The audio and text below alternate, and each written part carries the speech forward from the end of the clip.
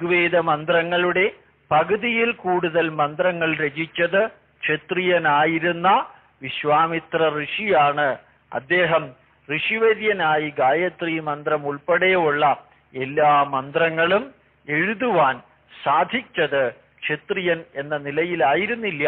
അറിവിന്റെയും പക്വതയുടെയും തപസ്സിന്റെയും ലെവലിൽ അദ്ദേഹം ഉയർന്ന ബ്രാഹ്മണ്യത്തിലേക്ക് എത്തുകയാണ് ഉണ്ടായത്.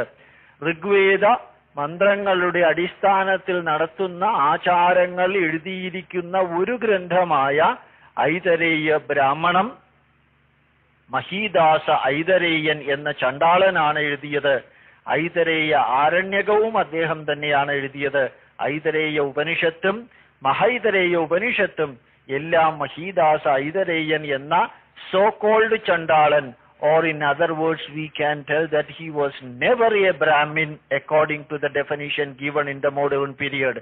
ആധുനിക കാലഘട്ടത്തിൽ ബ്രാഹ്മണൻ ബ്രാഹ്മണന്റെ അച്ഛനും അമ്മയ്ക്കും ജനിച്ചവരെല്ലാം ബ്രാഹ്മണരാണെന്ന ഡെഫിനിഷൻ നൽകുകയാണെങ്കിൽ ഈ ഐതരേയൻ ഒരു കാരണവശാലും ബ്രാഹ്മണനായിരുന്നില്ല. അതേ സ്ഥാനത്ത് ഇന്ന് ബ്രാഹ്മണരുൾപ്പെടെ സകലരും ആചരിക്കുന്ന ഗൃഹ്യസൂത്രങ്ങളുടെ ഒരു ഭാഗമായ അതുപോലെ ശ്രൗത യാഗയജ്ഞങ്ങളുടെ ശ്രൗതസൂത്രങ്ങളുടെ ഒരു ഭാഗമായ ഐതരേയ ബ്രാഹ്മണം എഴുതിയ ഐതരേയൻ ബ്രാഹ്മണനായിരുന്നില്ല.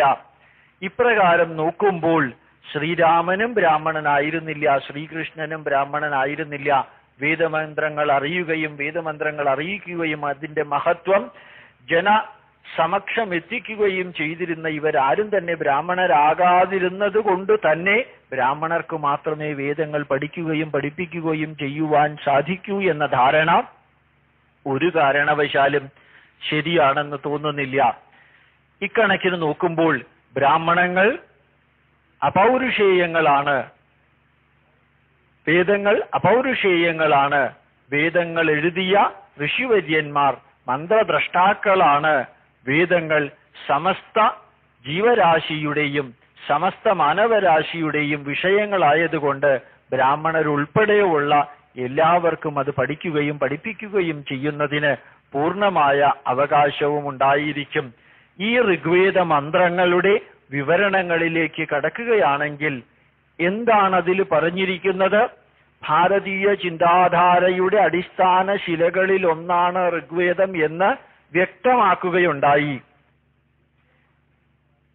പ്രപഞ്ച ചൈതന്യം മുതൽ കുടുംബ ബന്ധം വരെയുള്ള എല്ലാ വിഷയങ്ങളുടെയും ഒരു ലഘു വിവരണമെങ്കിലും തത്വജ്ഞാനത്തിന്റെയും ആധുനിക ശാസ്ത്രത്തിന്റെയും ദൃഷ്ടിയിലൂടെ ഈ വേദങ്ങളിൽ നമുക്ക് കാണാൻ സാധിക്കും. വേദം ആരംഭിക്കുന്നത് തന്നെ ആ എന്ന അക്ഷരത്തിലാണ് സംസ്കൃത അക്ഷരമാലയിൽ എന്ന് മാത്രമല്ല എല്ലാ ഭാഷയുടെയും ആദ്യ അക്ഷരമാലയായ ആയിൽ നിന്ന് തന്നെയാണ് ലോകത്തിന്റെ ചിരപുരാതനമായ ഋഗ്വേദ ഗ്രന്ഥവും ആരംഭിക്കുന്നത്.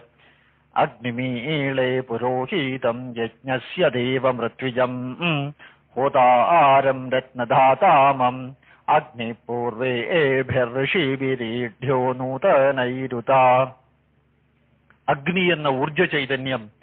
ആധുനിക ശാസ്ത്രത്തിന്റെ ആധുനിക ഊർജതന്ത്രത്തിന്റെ അടിസ്ഥാനത്തിൽ അഗ്നി എന്നുള്ളത് ലൈറ്റ് എനർജിയുടെയും ഹീറ്റ് എനർജിയുടെയും ഈവൻ സൗണ്ട് എനർജിയുടെയും ഇലക്ട്രിക്കൽ എനർജിയുടെയും എല്ലാം സ്രോതസ്സായിട്ടുള്ള ആ അഗ്നിയെ ഋഗ്വേദ മന്ത്രദ്രഷ്ടാക്കളായ ഋഷിവര്യന്മാർക്ക് മുൻപുള്ള ഋഷിവര്യന്മാരും പൂർവേഭിർ ഋഷിഭിരീഢ്യോ നൂതനൈരുത. പൂർവികന്മാരായ ഋഷിവര്യന്മാരും ഈ അഗ്നിയെ സ്തുതിച്ചിരുന്നു എന്ന് പറയുമ്പോൾ ഊർജ ചൈതന്യത്തെ ഉപാസിച്ചിരുന്ന ഭാരതീയരുടെ ശാസ്ത്രീയ ചിന്താധാരകൾക്ക് അവ തുടക്കം കുറിക്കുന്നു. അന്ന് തന്നെ എന്ന് മനസ്സിലാക്കാൻ സാധിക്കും. അതുപോലെ തന്നെ നാസദീയ സൂക്തം എന്ന അത്യുജ്വലമായ സൂക്തത്തിൽ ഈ പ്രപഞ്ച സൃഷ്ടിക്ക് മുൻപ് എന്തെല്ലാം ഇവിടെ ഉണ്ടായിരുന്നു എന്ന് വിവരിക്കുന്ന ആധുനിക ശാസ്ത്രത്തിന് തുല്യമായ ഒരു വിവരണം ഋഗ്വേദത്തിൽ കാണാൻ സാധിക്കും. സദാസി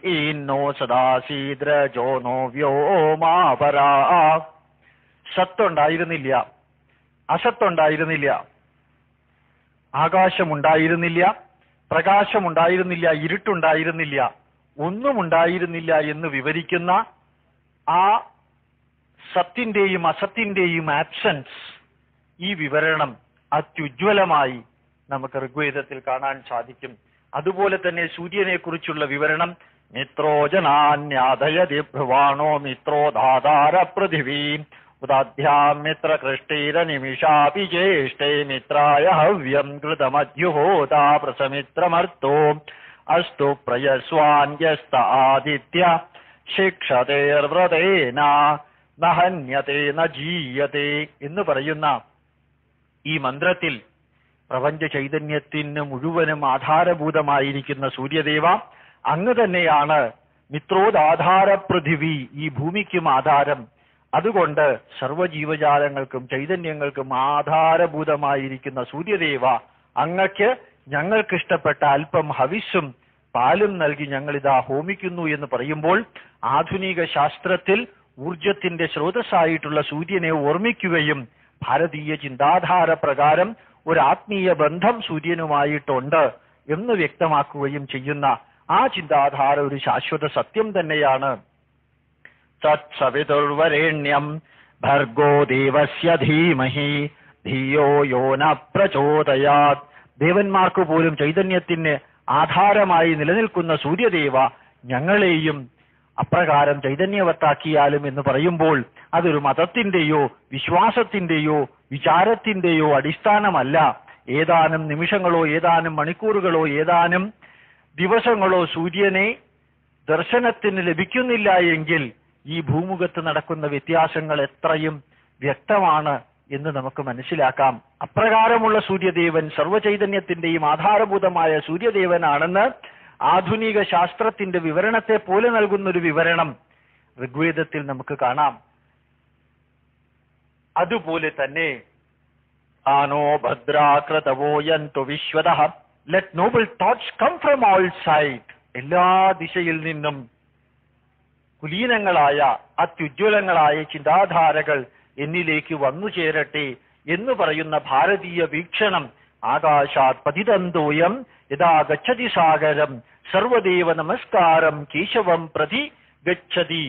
ആകാശത്തു നിന്ന് വീഴുന്ന മഴത്തുള്ളികളെല്ലാം ചേർന്ന് തോടുകളായും വലിയ നദികളായും സാഗരത്തിലേക്ക് ചെല്ലുന്നത് പോലെ എല്ലാ ചിന്താധാരകളും ഒരേ ഈശ്വരനിലേക്ക് ചെന്ന് എത്തുന്നു എന്ന പുരാണ മന്ത്രം പോലെ തന്നെ ആ മന്ത്രങ്ങൾക്ക് അടിസ്ഥാനമായിരിക്കുന്ന ചിന്താധാര ഋഗ്വേദത്തിന്റെ ആനോ ഭദ്ര ക്രതവോ എന്ത് വിശ്വത എന്ന വരി തന്നെയാണ്. ഇപ്രകാരം നോക്കുമ്പോൾ അനവധി ചിന്താധാരകൾ. സമ്രാജ്ഞി ഭവ സമ്രാജ്ഞി ശ്വശ്രുവേ ഭവ ശ്വശ്രുവാൻ ഭവ സമ്രാജ്ഞി നനാന്തരീ ഭവ. വിവാഹമന്ത്രത്തിലെ ഒരു ഭാഗമാണ് ഋഗ്വേദത്തിൽ നിന്ന് എടുത്തിരിക്കുന്ന ഈ വരികൾ.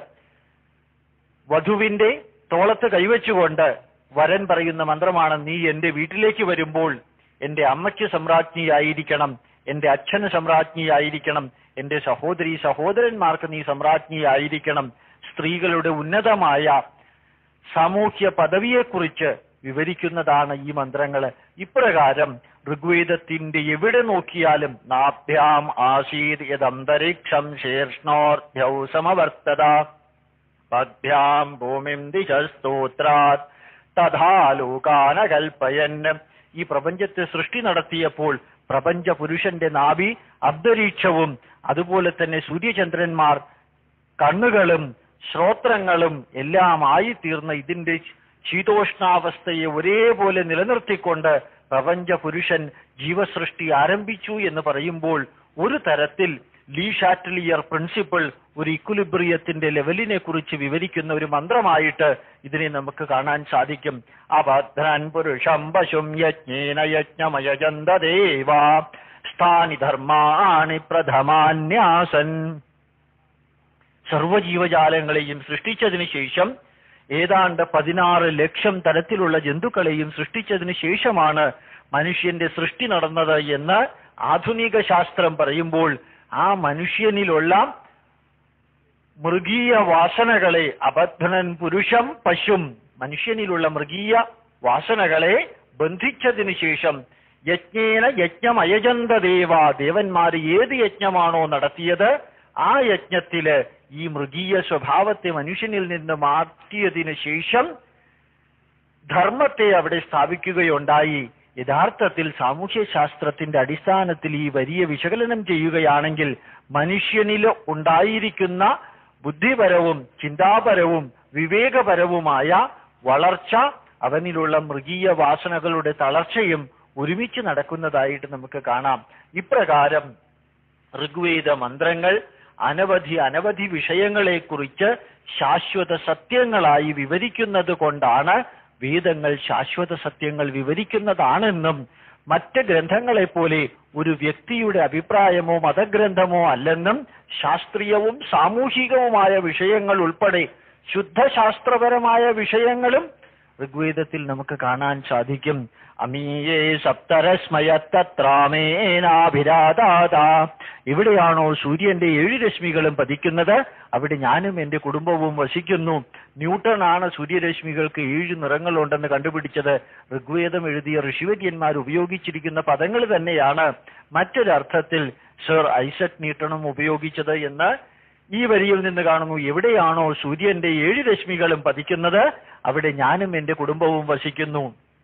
ഈ ദൃഷ്ടികോണിലൂടെ നോക്കുമ്പോൾ ആ കൃഷ്ണേന രജസാ വർത്തമാനോ നിമേശയൻ അമൃതം മർത്യം ചിരണ്യേന സവിതാരഥേന ദേവോ യാതി ഭുവനാനി വശ്യൻ സൂര്യനെ കുറിച്ച് വിവരിക്കുന്ന ഈ അത്യുജ്വലമായ വരിയിൽ അനവധി പൊടിപടലങ്ങളുടെ ഒരു വാലുപോലെയുള്ള ആ രേഖയിലൂടെ നിരന്തരം സ്വർണരഥത്താൽ ചരിച്ചുകൊണ്ടിരിക്കുന്ന സൂര്യദേവ അങ്ങ് ദേവന്മാർക്ക് പോലും ഈ ഭൂമിയിലുള്ള പ്രപഞ്ചത്തിലുള്ള സർവതിനും ദൃഷ്ടിഗോചരങ്ങളാകുന്നതിനു വേണ്ടി പ്രകാശരശ്മിയെ അവിടെ നിന്ന് അയക്കുകയാണ്.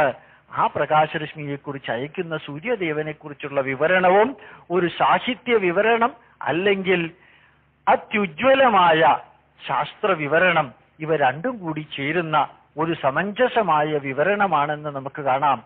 ഇതേപോലെ തന്നെ എല്ലാ ഗ്രഹങ്ങളെയും പ്രകൃതിയിലെ പ്രതിഭാസങ്ങളെയും മനുഷ്യബന്ധങ്ങളെയും ഒരു തരത്തിൽ പറഞ്ഞാൽ ആദി ഭൗതികം ആദി ദൈവതം അധ്യാത്മികം എന്നീ രീതിയിൽ ഭൗതിക സുഖങ്ങളെക്കുറിച്ച് വിവരിക്കുന്ന മന്ത്രങ്ങൾ അതിനകത്തുണ്ട്. ഇന്ദ്രശ്രേഷ്ഠാനി ദ്രവിണാനി ദേശിം ചിത്തിം ദക്ഷസ്യസ്വഭകത്വമസ്മേ ഹേ ഇന്ദ്ര ഞങ്ങൾക്ക് എല്ലാവിധ ഭൗതിക സുഖങ്ങൾ നൽകിയാലും ഞങ്ങളുടെ ശത്രുക്കളെ നശിപ്പിച്ചാലും പ്രപഞ്ച ചൈതന്യത്തോടുള്ള വിവരണം തന്നെയാണ് ഇത്.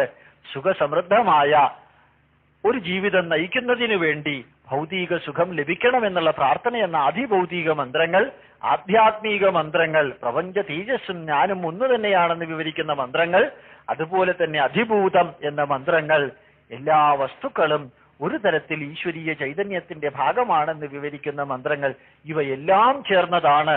ഈ അതിമഹത്തായ മൂന്ന് ലക്ഷത്തി തൊണ്ണൂറ്റിയേഴായിരത്തിൽ പരം അക്ഷരങ്ങളുള്ള അതിബൃഹത്തായ ഋഗ്വേദം എന്ന വൈദിക ഗ്രന്ഥത്തിന്റെ ഉള്ളടക്കവും ചൈതന്യവും ഇവ അറിയുകയും അറിയിക്കുകയും ചെയ്യണമെങ്കിൽ ഉദാത്തവും അനുദാത്വവും സ്വരിതവും രേഭവും ഹ്രസ്വവും പ്രചേയവും അനുനാസികയും കമ്പവും ദീർഘകമ്പവും ചേർത്ത് അത്യുജ്വലമായ ശ്രുതികളോടുകൂടി കേൾക്കുമ്പോഴാണ് വേദമന്ത്രങ്ങളുടെ അർത്ഥങ്ങൾക്കപ്പുറം അതിന്റെ ശബ്ദതരംഗങ്ങൾക്കുണ്ടാകുന്ന ന്യൂറോ ലിംഗ്വിസ്റ്റിക് എഫക്റ്റും സൈക്കോ ലിംഗ്വിസ്റ്റിക് എഫക്റ്റും നമുക്ക് മനസ്സിലാക്കുവാൻ സാധിക്കുന്നത്. അങ്ങനെ സമഗ്രമായ വേദപഠനമാണ് ബ്രാഹ്മണ്യത്തിലേക്കുള്ള പന്ഥാവ്.